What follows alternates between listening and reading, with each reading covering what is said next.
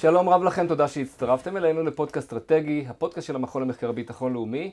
נסראללה, בימים אלה, כיצד הוא תופס את תפקידו האזורי ואפילו הבינלאומי, וכמובן, מה הוא חושב על מה שהוא רואה בישראל, ועוד יותר מכך, עד כמה הפיגוע במגידו מבטא איזשהו שינוי או ביטוי לתפקיד שחיזבאללה רואה לנכון לשמש בעת הזאת, בהתחבר לזירות נוספות. על כל זאת ועוד אנחנו רוצים לשוחח עכשיו עם יורם שווייצר, ראש תוכנית המחקר בנושא טרור ולוחמה בעצימות נמוכה במכון. שלום רב יורם. שלום, שלום. נתחיל בנסראללה ומחשבותיו על תפקידו, בין אם זה בזירה האזורית או הבינלאומית, הגלובלית, בעקבות רצף של התפתחויות שכבר דנו בהן פה בפודקאסט, ועל רקע המציאות כיום, איזה תמונה מתגבשת בראש שלו ככל שאתה מבין? תראה, אני חושב שהבעיה של נסראללה ומה שהופך אותו למסוכן זה בעיקר התודעה הכוזבת שהוא מפתח לעצמו והטעויות שעלולות לנבוע מזה. עכשיו בוא ניכנס לעניין ולשאלתך. תראה, נסראללה מסתכל על האזור שאחרי, נאמר, פרשיית כריש, שזה היה העימות הקודם שהתעמתנו איתו, והוא גם יושב על, על מה שנראה בעיניו כהישגיו, הוא מסתכל מסביב ורואה את החשיבות הרבה שיש בעיניו לציר הפלסטיני או לציר השיעי המורחב, שכולל גם את הפלסטינים. הוא מסתכל כיום על פטרוניתו איראן, רואה שהוא והוא חלק מהציר שלה, הוא רואה שאיראן נמצאת במצב שהיא על סף פריצה לגרעין, היא בברית עם הרוסים, אפילו אם זו ברית איטית אד-הוקית, הוא רואה שיש גם נגיעות סיניות לעניין, ומנגד הוא רואה את ישראל החלשה. בתוך המרכיב הזה הוא משחק עכשיו כשחקן בעיקר, הוא כל פעם בכובעים שלו, מעבר לעובדה שהוא מגן לבנון, ומעבר לעובדה שבעיניו הוא מגן העדה השיעית, ומעבר לאינטרסים הלבנונים, הוא רואה בעצמו מנהיג צירי ומנהיג אזורי, עם יומרות. ולכן בניתוח שלו הוא נמצא במצב מצוין. ציר ההתנגדות שלו, גם הציר של ארגוני הטרור, עם איראן וסוריה, וגם הציר הרחב יותר של איראן, סוריה, מבחינה, וארצות הברית שבורחת בראייתו מהמזרח התיכון, או נסוגה ממנו, בתוך המצב הזה הוא מנתח ופועל. עכשיו, אומרים לו, אל תשחק באש מתוך לבנון. כבר התלקחת, התלקחו לך ידיים פעם אחת ב-2006, והיינו על סף מלחמה בעוד כל מיני הזדמנויות, ובסוף זה נבלם או נמנע, לא משנה כרגע באיזה אופן.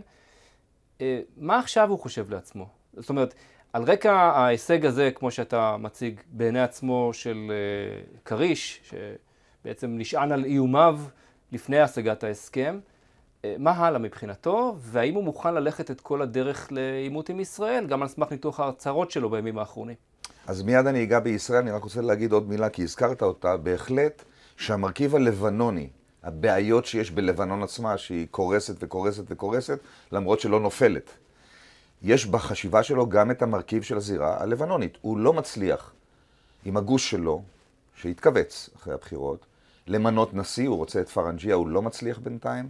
אין ממשלה אלא ממשלת מעבר, ויש כאמור בלבנון יריבים לא מעטים שמסתכלים עליו ורוצים ברעתו. זו תפיסתו. ולמרות זאת, הוא מול ישראל נוקט, נקט עד כה במדיניות שמותחת את החבל מול ישראל, עכשיו, בגלל התודעה הכוזבת שלו לגבי ישראל ומה שהוא רואה ואיך שהוא מפרש את זה, מה שקורה בישראל, הוא בהחלט מתגרה בישראל, ואולי נדבר בכמה מילים על איך הוא רואה את ישראל כתפיסה בסיסית שלו. כמובן, ורק נזכיר, אה, לפני ימים אחדים פרסמתם, אתה ואורנה מזרחי, מאמר שמנתח לעומק את הרטוריקה של נסראללה בימים האחרונים על רקע מה שהוא רואה בישראל, וכמובן מעלה אה, מהנשכחות אולי את אה, תפיסת קורי עכביש. בתמצית, למה הכוונה, אה, לטובת מי שלא מכיר, וכמובן, איזה פרשנות חדשה הוא נותן לכך, והאם יש לכך משמעות אופרטיבית מבחינת חיזבאללה מול ישראל. אז קודם כל, לתודעתו הכוזבת של נסראללה, אני רוצה לספר לו שאין דבר חזק בטבע, או שיש מעט דברים... מקורי עכביש. מקורי עכביש. אמת. אז קודם כל כדאי שידע שהמשל והנמשל לא בהכרח דומים. אנחנו מבינים לטובת הציבור שלנו, שהוא בעצם מדבר על ישראל כחברה קורסת ומתפוררת. הוא אומר את זה גם בנאומים שלו. אני מזכיר לכולם שנסראללה, כשנתן רעיון לבן ג'ידו, השופר המרכזי שלו, בתקשורת הלבנונית, הוא סיפר על החלומות שלו. שאנשים מהגרים מפה עם המזוודות. בחלומו הוא רואה ישראלים נוהרים אפרופו, נוהרים לנמלי התעופה, לנמלי הים ולמעברי הגבול עם מטלטליהם מחששם כי ישראל עומדת לקרוס כל רגע. הוא גם חוזר ומציין בנאומים שלו, זה לא רק הנאום מבינג'בל מ-2000 שהוא דיבר על קוריאה עכביש, הוא חוזר ומדבר על זה, כולל בנאומים האחרונים האחרונים שלו, שהוא מדבר על חברה ישראלית כחברה במשבר הגדול ביותר בתולדותיה, שקורסת לתוך עצמה. ולכן, הוא גם אומר שהוא לא יצטרך לחכות עוד 40 שנה כדי לראות את ישראל קורסת. זה ה-state of mind שלו. צריך לזכור, נסראללה בנאומיו ובהצהרותיו, זה גם לוחמת תודעה מול ישראל, וזה גם ביטוי להלך הרוח. וככה הוא רואה את ישראל, ובניתוח הגיאו-אסטרטגי שהוא עושה, הוא בהחלט המרכיב של חולשת ישראל בעיניו, היא מרכיב מרכזי. אוקיי, okay, אז צד אחד של נסראללה זה לנתח את ישראל, להסביר את זה לעולם הערבי, לציבור שלו, אה, וצד אחר זה כמובן כל מה שנוגע לטרור, איומי טרור ואפילו פיגועים, בין אם זה פיגועים שחיזבאללה לוקח אחריות עליהם, או פיגועים שלפי הערכה הוא מעורב בהם. וזה מביא אותנו לדבר על הפיגוע במגידו, שעדיין אפוף מסתורין. אה, צה"ל פרסם שהמחבל ככל הנראה חצה מלבנון, לא במנהרה, אלא פשוט עקף את הגדר בדרך כלשהי, ואנחנו עדיין לא מבינים את כל הפרטים, אבל איך זה מתחבר לכל מה שאמרת עד עכשיו? אני חושב שזה מתחבר מצוין, וצריך לשים לב גם לתפנית שיש פה, או לת, ל, להצטברות של התודעה של נסראללה והמעשים שנגזרים ממנה. תראה, האירוע במגידו, למרות שהוא עדיין לוט בערפל, יש כמה דברים ברורים לגביו, גם בצד הטכני, הטקטי, וגם בצד האסטרטגי שעומד מאחוריו, למרות מיעוט הפרטים. ברור לחלוטין שנסראללה מעורב באירוע. הוא מעורב הן בשיגור מלבנון, הן במעורבות כנראה הרבה יותר עמוקה בהכנת כלי הנפץ וחגורת נפץ, גם אם זה בוצע על ידי פלסטינאים, וזה מתקשר היטב לציר הפלסטיני שהוא רוצה לבטן ולחזק אותו ולהכניס אותו לתוך ציר ההתנגדות השיעי. הוא רוצה להרחיב את ציר ההתנגדות השיעי. האירוע עצמו, עוד פעם, אנחנו לא יודעים את כל הפרטים, אבל ההליכה, לא במרחב הגבול, שם יש לו כאילו הסבר ואידיאולוגיה כן. וקונטקסט לבצע אותו, הוא נמצא כרגע בעומק ישראל. בין אם הוא ידע שהעקבות יובילו אליו, או הייתה לו הרחקת עדות והוא יכול היה לצאת בשלום מפיגוע פלסטיני אם לא היינו מאתרים את המחבל בדרך חזרה, אני חושב שנסראללה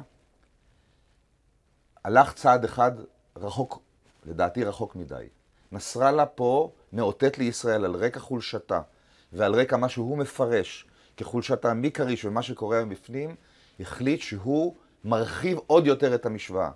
הוא לא מחפש עכשיו תגובה ישראלית בפינג פונג שישראל עושה והוא עושה בחזרה. פה זו פעולה יזומה שלו באמצעות שליח, שבי ברור לגמרי, נחכה שיתגלו כל הפרטים, שהוא מעורב בהכשרה ובהכנה, אנשיו, והוא מסמן לישראל. עכשיו, יש כאלה שחושבים שיש פה בחירה של תאריך אזכור של הפיגוע במצובה, שעשו בזמנו הגאפ ב-2012, אותה טכניקה של דילוג, דומה. של דילוג מעל הגדר וחדירה לתוך, במקרה ההוא זה היה בגבול, פה יש חדירה לעומק ישראל, באזור ג'נין, באזור כלא מגידו, יש כל מיני פרשנויות. בעובדה, הוא עמד ייתכן בשירות האיראנים שיש להם חשבון עם ישראל, ישראל פוגעת בהם בסוריה, בלי הכרה, הם מנסים להגיב בחו"ל, מנסים להגיב פה וחוטפים, בהחלט יכול להיות שהוא משרת גם את הרצון האיראני ואת הרצון שלו בעניין הציר. הוא גם מראה את זה לכל חברי הציר, שהוא איננו חושש מישראל, הוא מסמן שישראל פגיעה, הוא מסמן לפלסטינים, הוא אומר בנאומים שלו, ישראל עומדת לפני התעמתות עם הפלסטינים. בתוך כל הקשת הזאת נסראללה חורג בצורה ברורה מה... כללי המשחק. כללי המשחק ועוד מרחיב אותם. ולכן ישראל צריכה לקחת את זה לתשומת ליבה ולפעול בצורה ברורה מול האתגר הזה ולחרוג מהמשוואה שנסראללה מנסה להכתיב לה. כי תגובה לא הייתה עד עכשיו, ואני רוצה לשאול אותך לסיום, מה אם? כלומר, מה אם לא, לא תהיה תגובה? אפשרות אחת. אפשרות שנייה, מה אם תהיה תגובה שאולי בעצם מזה חוששים במערכת הביטחון, שתהיה טריגר לספירלה של הסלמה, והנה הגענו למצב של עימות ישיר עם חיזבאללה, שיכול להפוך לימי לחימה ולמלחמה. אז אני ברשותך רוצה להתייחס ברמה העקרונית לתגובה הנדרשת מישראל ולהסביר אותה. תראה, ישראל סימנה לנסראללה בניסיון הפיגוע שהיה לו סביב מוצב דלעת. אחרי זה הוא ניסה לעשות אירוע נוסף, ישראל סיכלה ולא הגיבה. אחרי זה היה לנו את פרשת כריש, שנסראללה באמצעות, על פי דבריו, אני מנתח מהצד שלו, על פי דבריו, לא היה צריך אפילו לירות כדור, אלא רק לאיים בירי של טילים, והכטב"מים הבלתי חמושים, זה היה רק סימון, זה לא היה פעולה קינטית מובהקת עם אה, נזק קונקרטי. ועכשיו נמצא, אנחנו נמצאים במצב שבו באמצעות שליח בהפעלה והכוונה שלו, זאת דעתי, הוא מנסה לפגוע בישראל בפיגוע מאוד מאוד כואב. לו היה יוצא לפועל כמו שהוא תכנן אותו, עם שני הרכיבים של כלי מגור וחגורת נפץ, הוא היה פוגע בישראל פגיעה קשה. והוא מוכן לעשות את זה, מוכן להתגרות ולקחת את הסיכון. הוא גם אומר, בגלל כל התפיסה שלו על חולשת ישראל ואיך שהוא מנתח את היריב.